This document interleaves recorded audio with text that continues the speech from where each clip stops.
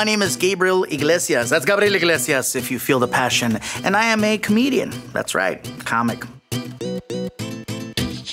Anytime you get to be the first to do anything, uh, unless it's a mistake, it's always a great thing. So the fact that I'm the first comic to perform at Dodger Stadium and now the first one to sell it out, uh, yeah, there's been so many uh, amazing artists that have performed at Dodger Stadium, and to be now part of that list, it's like wow. Uh, no matter what happens from here on out, uh, yeah. Who did it first? Uh, right here. That's right. The Beatles and myself. That just I'm just saying. This show has been uh, three years uh, roughly in the making. Uh, I got a bonus year because of COVID, so it was one year off and then two years of, of hitting the road. Yeah, and I'm always, I'm always on the road. I'm on the road three to four days a week, every week, and I've been doing that for the last 25 years. There's no difference as far as like uh, training or am I eating different or am I, you know, do I stretch more? It's it's just a little bit of a bigger show, and uh, you know, mentally as far as preparing for it, I think the, the best part is that it's at home. That's why the show's special. I feel like it's home field advantage, no pun intended. I know a lot of people have certain expectations, and it's gonna have a lot of meaning. It already has a lot of meaning.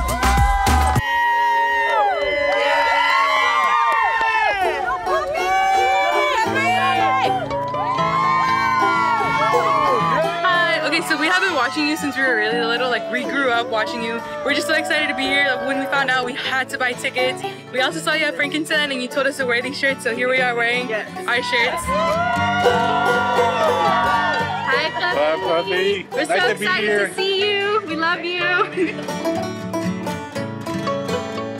Who's a fluffy fan? I guess somebody that likes to laugh, somebody that likes to have a good time. I've had people at my shows that are as young as eight, seven, eight years old, as as old as I want to say 95. All walks of life, black, white, brown, you name it. Everybody's been to the shows. Fluffy's youngest fan, two months old. You're my favorite comedian. This is my first show actually. Been a while, my girlfriend, she actually blessed me. Tickets to come see you and I love you, man. She's 12, first show, Fluffy. Hi. Watch you all the time. That's my niece right here. Hey. Watch you at home. Love you, Fluffy. Can't wait to see you. In Los Angeles, it's a little bit easier uh, for obvious reasons, but everywhere else, it's like, how is it that he's drawing people in Oslo, Norway, or in the Middle East, or in London or Australia? You know, a lot of times uh, the industry thinks that they know, and they, they don't. Uh, they're, they're clueless. We've seen you at the Staples Center. You packed it out there, and we're expecting the same today. You're gonna pack it out big time, and you're gonna make us have a good time. And we love you. We appreciate you in our lives. I put on a show that, that people feel comfortable with and they want to come out and bring their friends, bring their family, bring their loved ones, and that's who's a Fluffy fan.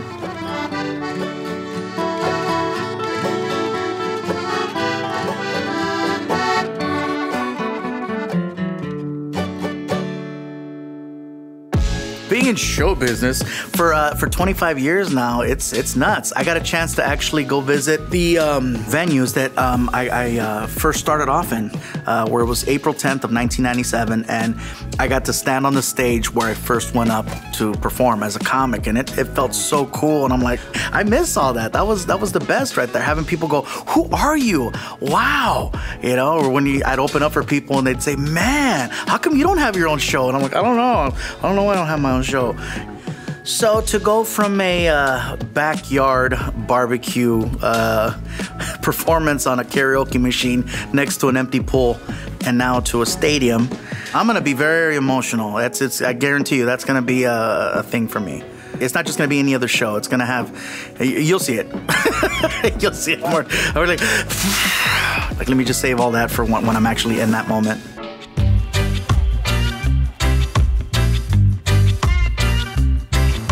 I'll do that. I done messed around and got a real gig. I'm not sure exactly what's gonna happen the day of the uh, the show, you know, because normally with arena shows we pull up to the back and then I get off and then we walk in. But this is not an arena; it's a freaking stadium. It's massive. Pretty sure we're gonna have to pay for parking. That's that's just a given at Dodger Stadium. Well, I'm looking at my, my stage right now being built, and uh, there's a lot of smoke. That's never a good thing when there's smoke coming out of your set. It's always different in the daytime. At night, like I've been here for concerts with like, you know, uh, Paul McCartney, uh, I've been here for ACDC, and it's a very different vibe at night. Right now, like all the, it looks like a big ass quinceañera with all these white chairs. I'm just, I'm wondering if we could rent them out after, you know, cover some of the cost. Cue the sign. Cue the chihuahuas. Whatever the situation is to introduce me, I'm, I'm totally involved with it. I always want to make sure that I'm getting exactly what I want and that I don't get something hokey. So as you can see, we're having some issues with the dogs. They always say in show business, never work with animals or kids. See what happens. I planned something very special for the Dodger Stadium introduction. My first car was a 1968 Volkswagen bus. It was about nine shades of primer and, and two, two, three different versions of gray. And it was just, I don't know, it was pieced together with duct tape and prayer. That's that's what kept that car on the road. Who wouldn't want to get their first car back once, you know, you're, you're in a better place? Um, so when I was able to get my first car back, I, I fixed it up the way that I wanted to fix it up when I was 17 years old. And then after that, it was one of those, hey, maybe I'll get another one. And uh, one turned into two, turned into four, turned into eight, turned into now I think we're right around 25. I've always wanted to have my first car on stage. I think it's gonna happen. I, I, it's really close. Um, you can never be 100% until it's done, but I know that we're making the attempt this time. In the end, everything is gonna be like a little dance, and it should be like this. So, like that, like this. And then a car comes out, and then like people go crazy. See, I'm trying to find the furthest person from me right now. You're the closest person. I'm trying to find the furthest, the furthest person. Sound crisp? How does it sound over there? Yell so I can hear you. Yes! Mm-hmm. It is now five o'clock. I am leaving you now. I will be back when the sun goes down.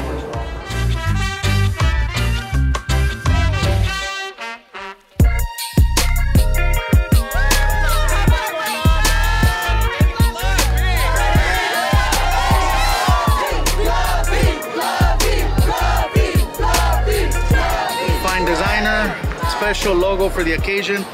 See the bat? One night only. All right, wish me luck, people. I'll see you on the other side. Wow, so much has happened. I mean, the places I've gone, the things, you know, that I've done and the people that I've met, and the fact that it's a couple weeks after my 25th anniversary that now I'm doing this Dodger Stadium show. It's, it's mind blowing. It's, it, there's really no words to describe it. It's just, it's surreal. I've been lucky enough that I have two really great friends with me on tour that have been there since the beginning. One is Martin, also known as Martin, and my friend Alfred Robles. And I'm excited that I can share this experience with both of them. You know, it's been an incredible ride. Did garages with this dude, living rooms, backyards. Then we're doing clubs, and this dude ended up at Dodger Stadium, you know. And I'm trying not to get emotional here, but what you have to sacrifice in order to get to that level. The blood, the sweat, the tears, and, and the laughs and the cries, and nothing compares to this moment. I hope he savors it as much as I'm savoring it. Performing here meant a lot to me. I used to sneak into here and watch games with this fool right here and performing here two nights, selling it out. It's great, man.